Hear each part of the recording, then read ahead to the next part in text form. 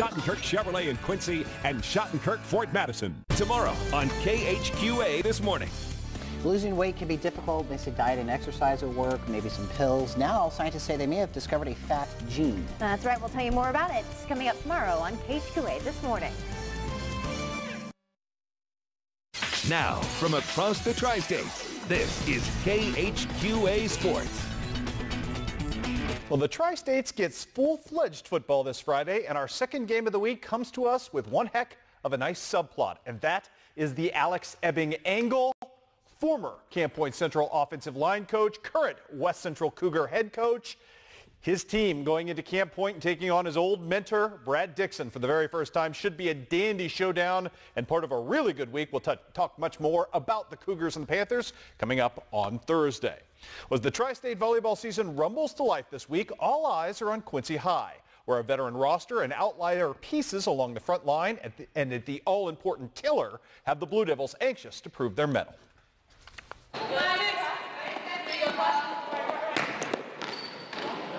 Definitely Thursday can't come soon enough. We're anxious to be able to get out there on the court and put everything together and show other teams what we have and um, also show our fans as well as show each other what we're capable of doing.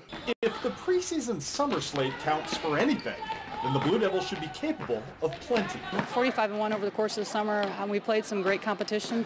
Um, some was a little weak, but others were strong, and it definitely showed what our girls have. It's like a lot of fun like playing with these girls because we've been through so much. We've all been playing together for quite some time now, so it's nice to see everything come together. Emphasis here on the word everything. Quincy High is most obviously well-heeled at setter. You know, I've been blessed over the last 12 years having outstanding setters, and Malia is just stepping in there and taking that role, and she's very anxious to get on the court and run her offense and play well, and I know she's wanting to excel because she wants to play at that next level. I kind of give her the reins. And she takes control. Um, we every once in a while tell her things we want her to do, but she's like, Coach, I've got it. I know what you need. I know what's going to happen, and I'm not afraid to take that next kill or do what I need to do to make the team be successful. And Malia Blakemore will not lack for options to set. And I think that other teams when they see us cross the net, like it's very intimidating because we all are like a big team out there. I think we have a lot to look forward to in front row, back row. Everywhere on the court we've got great players and everybody's strong and solid. And I think our summer season showed that, and we're just going to keep proving that as the season progresses. Um, our front line is very strong, and I'm excited because we've got a lot of height this year, and that's um, something that we always haven't always had in the past. Um, having a lefty on the on the right side, being able to come in and run some slides and different options there. Um, with Sarah, Sarah Erke, we have uh, Lauren Schnack coming back off of a knee injury, and she's just adding all kinds of power, firepower, excuse me.